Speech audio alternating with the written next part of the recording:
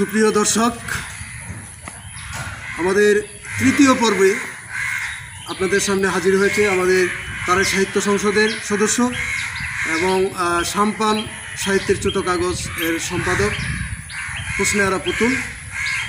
কবি হুসনে আরা পুতুল উদীয়মান একজন কবি এবং লেখক। তো আমাদের এই ক্ষুদ্র এই তারাইল উপজেলায় আমরা যারা সাহিত্য চর্চা করি, এর মধ্যে যারা একটু ভালো ভালো লেখার চেষ্টা করছি, আমরা আপনাদেরকে বিনোদন দেওয়ার জন্য। এর মধ্যে হোসনেহারা পুতুল একজন তার অনেক কষ্টের মধ্য দিয়ে এই লিখে থাকেন এবং এই লেখাগুলিতে সে সংগ্রহ করেছেন। তার লেখা কয়েকটি বইও প্রকাশ হয়েছে। তো আজকে আপনাদের সামনে আমাদের এই তারা সাহিত্য সংসদের সদস্য কবি হোসনে আরা পুতুল আপনাদেরকে কয়েকটি কবিতা শোনাবে। সবাইকে মানে ছোট বড় যারা আছে, সবাইকে আমি নিজের বোন, ছেলে, মেয়ের মতো তাদেরকে স্নেহ করি এবং তাদেরকে অনেক কবিতা ছড়া সম্পর্কে যতটুকু আমি জানি তাদেরকে জ্ঞান দেওয়ার চেষ্টা করি। আজকে আপনারা শুনুন কবি হোসনেরা পুতুলের কবিতা, স্বরচিত কবিতা। সুপ্রিয় দর্শক, আসসালামু আলাইকুম। আমি আমার স্বরচিত একটি কবিতা আবৃত্তি করছি। আমার কবিতাটির নাম গাঁওগেরামের কবি। আমি গাঁওগেরামের কবি। হৃদয় মাঝে আঁকি শুধু বাংলা মায়ের ছবি। দু চোখ ভরে দেখি আমি, সবুজ ফসল মাঠ, নববধূর নাইতে যাওয়া, শান বাঁধানো ঘাট। মন খুলে গাই যে আমি, বাংলা ভাষায় গান, মুক্ত হাওয়া আমার সকল জোড়ায় মনোপ্রাণ। আমি পাখির সাথে কথা বলি বলি নদীর সাথে। দু চোখ ভরে স্বপ্ন দেখি আমার আখি পাতে আমি চাঁদের আলো গায়ে মেখে করি মাখামাখি, জোনাক জলা সন্ধ্যা রাতে অবাক চেয়ে থাকি। ঝিঝি পোকার ঝিকঝিকানি, শুনি অবাক হয়ে ঢেউ খেলানো নদীটি ওই, কি যেন যায় কয়ে। আমি নাম না জানা ফুলের মতোই, ঝরি কতবার, শিশির ঝরা ঘাসের মতো, জন্মি শতবার। আমার স্বরচিত একটি কবিতা কবিতাটির নাম মনে পড়ে। খুব মনে পড়ে সেই গ্রামটির কথা। এক পাশে তার ঘন বাসবন, নিশুথি রাতে হুতুম পেঁচার ডাক। ঝিঝি পোকার ঝিকঝিকানি, শেয়ালের হাত। মনে পড়ে সেই আঁকা বাঁকা নদী, ঢেউয়ের মাতামাতি, কাশফুলের নীরব হাতছানি। ভোরের আলো ফুটতেই রাখাল গরুর পাল নিয়ে ছুটে চলা। মনে পড়ে সেই মাঝির গেয়ে ওঠা গান। রাখালের বাঁশির সুরে জুড়িয়ে যাওয়া প্রাণ। পাক পাখালি ডাকে রোজ ভেঙে যাওয়া ঘুম। মনে পড়ে শিওরের পাশে বসে মায়ের শোনা গল্প।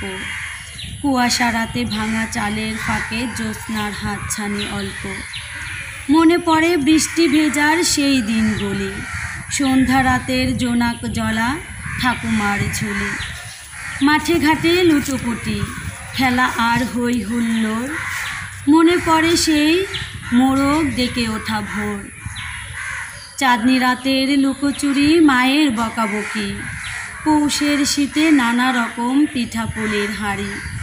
হঠাৎ কোথায় হারিয়ে গেল সেই সোনালি দিন। আজ শুধু স্মৃতির পাপিয়ায় রয়ে যায় ঋণ। আজ আর নেই ঠাকুমার সেই নিত্য নতুন গল্প। নেই আর সেই সবুজ ফসল ভরা মাঠ।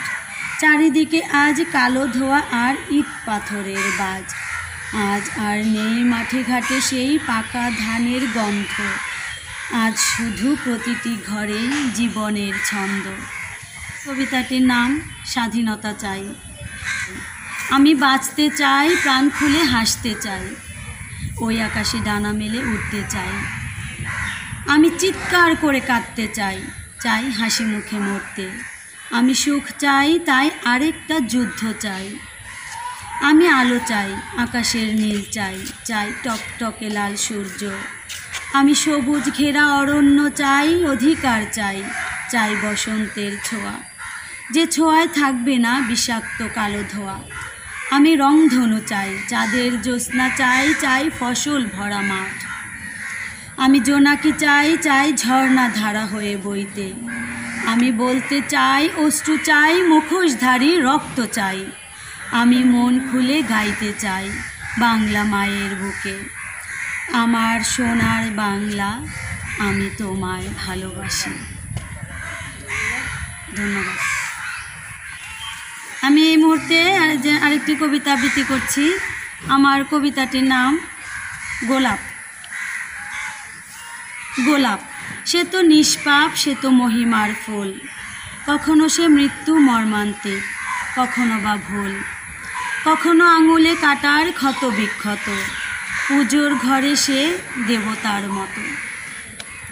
কতবার গভীর রাতে ঘুম ভাঙিয়ে দেয় ফুলশয্যা রাত্রিটিকে কাছে টেনে নেয়। প্রেমিকের হাতে হয় ভালোবাসার কাব্য। প্রেমিকার খোপায় হয় সৌন্দর্যের গন্তব্য।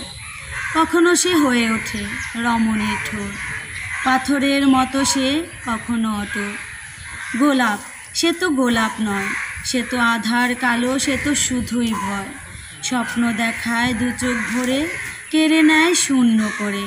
তাই তো বলি গোলাপ সে তো মর্মান্তিক মৃত্যু সে তো কুয়াশা ঢাকা ধোয়া। ধন্যবাদ সবাই